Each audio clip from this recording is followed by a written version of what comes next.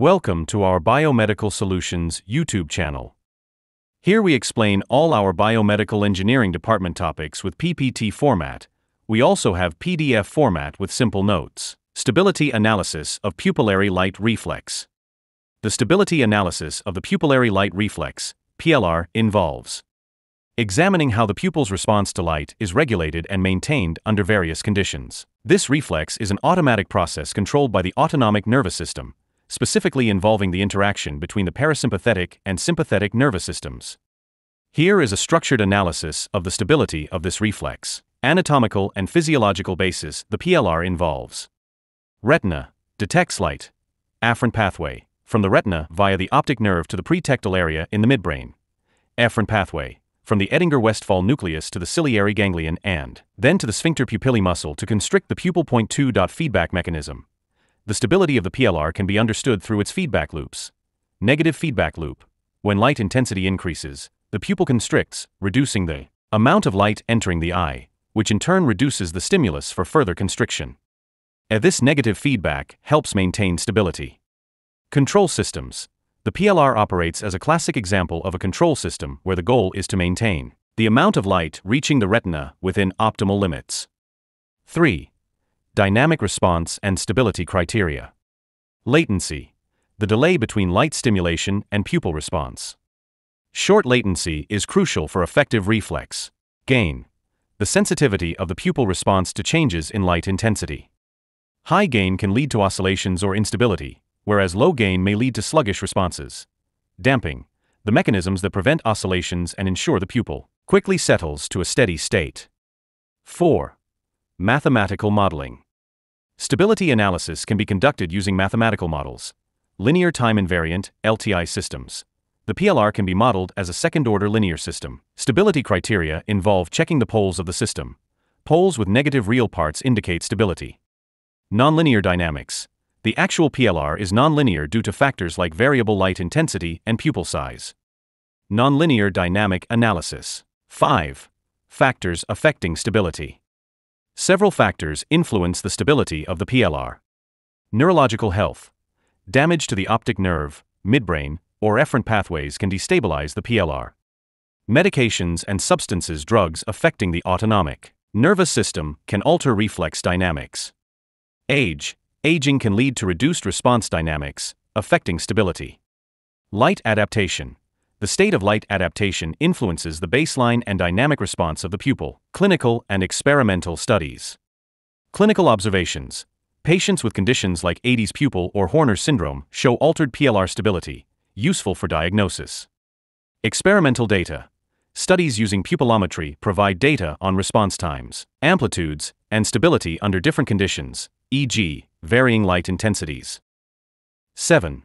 Technological applications. Adaptive optics, used in imaging systems to maintain stable illumination of the retina.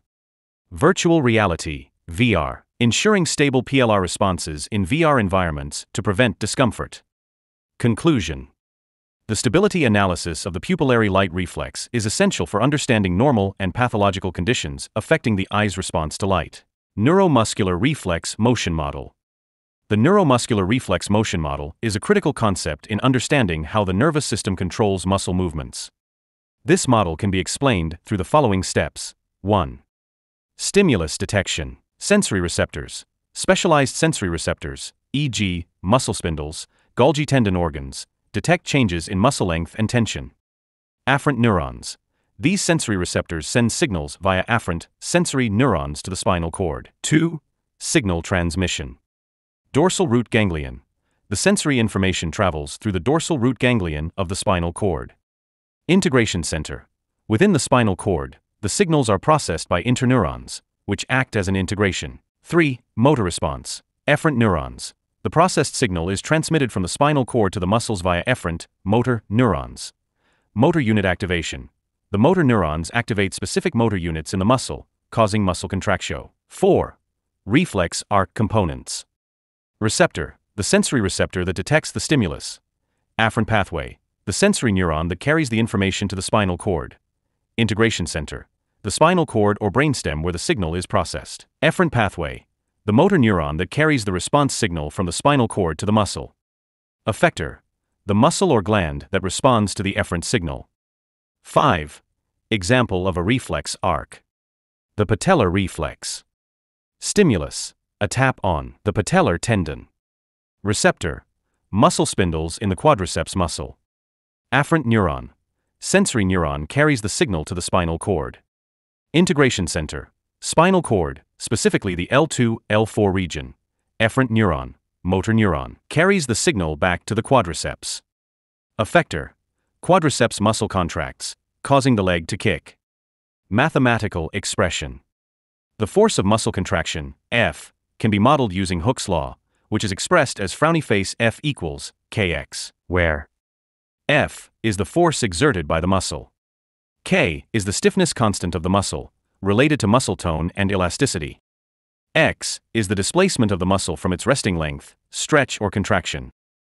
Application of the model. The neuromuscular reflex model is crucial in various biomedical applications, such as rehabilitation engineering, designing prosthetics and orthotics that mimic natural reflexes, robotics, creating bio inspired robots with reflexive movements, neurological assessment, diagnosing and treating conditions related to abnormal reflexes, e.g., spinal cord injuries, neuropathies. Steady state analysis of muscle stretch reflex action. The muscle stretch reflex, also known as the myotatic reflex, is a fundamental neurological mechanism that helps maintain muscle tone and posture. Here is a steady state analysis of this reflex. Anatomy and pathway. Muscle spindle. Sensory receptors within the muscle that detect changes in muscle length. Afferent pathway. Sensory neurons, group IA and 2 fibers, carry information from the muscle spindle to the spinal cord. Integration center. Synapse in the spinal cord where the sensory neuron directly synapses with a motor neuron. Efferent pathway, motor neurons, alpha motor neurons, carry the response back to the muscle. Effector, the same muscle that was initially. 2. Reflex arc. The muscle stretch reflex involves a simple monosynaptic reflex arc. Stretch detection. Muscle spindle detects stretch. Sensory neuron activation. Stretching of the muscle spindle activates sensory neurons. Synaptic transmission sensory neuron synapse directly with alpha motor neurons in the spinal cord.